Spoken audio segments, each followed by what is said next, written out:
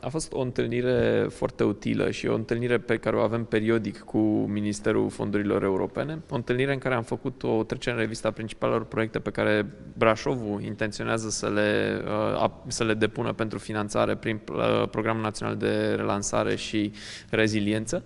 Principalele proiecte sunt Spitalul Regional, uh, despre care vorbim, știm cu toții și vorbim cu toții. Am primit asigurări că uh, ne aflăm în graficul uh, și în prima serie de spitale care vor fi finanțate prin acest program. Vorbim despre transportul metropolitan feroviar, și din nou am primit uh, felicitări pentru stadiul în care ne aflăm și Brașovul se află într-o poziție foarte bună comparativ cu alte proiecte din țară și uh, vorbim despre extinderea domeniului schiabil din Poiana Brașov și transformarea Poianei Brașov într-o stațiune pentru patru anotimpuri, uh, unde avem documentațiile pregătite, dar trebuie să le, să le uh, adunăm într-un proiect unic cu indicatori tehnico-economici uh, agregați.